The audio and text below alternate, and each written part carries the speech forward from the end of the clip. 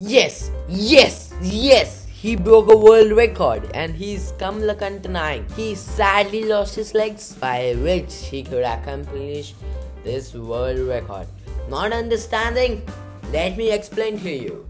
A man called Portugal Mario Trindade who covered 182.4 kilometers in a manual wheelchair in a span of 24 hours was the record and it was world record in which Kalmakant Nayak broke it with a whooping 213 kilometers in India.